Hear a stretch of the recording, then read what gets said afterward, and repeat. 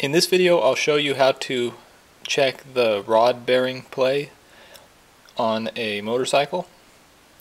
This is a two cycle engine. It's a KX 125 dirt bike but it's, it's applicable to pretty much every motorcycle made. The rod bearing is right here. In this motorcycle being a two-cycle engine, it's lubricated by the oil that's mixed with the gas. Um, pretty much all connecting rods have a little bit of side-to-side -side play.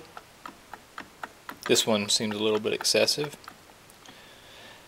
The main point of concern is not side-to-side -side play, but um, end play, which is um, this way, forward and back.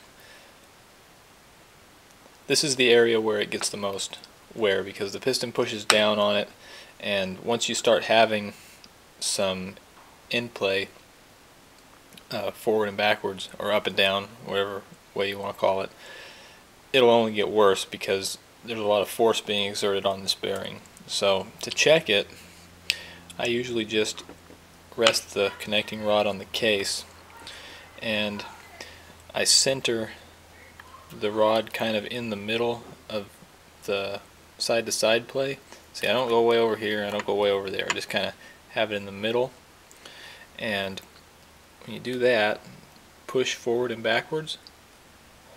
And this one actually has some play. I don't know if you can see that.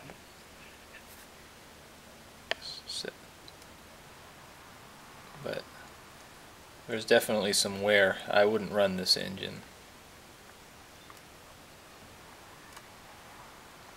I even be able to hear it a little bit. So this one, it would run if I put it together, but its lifespan would be very limited. And then once this bearing goes out, it wreaks havoc on the rest of the engine as well because shrapnel goes flying throughout the engine and then you have a catastrophic failure.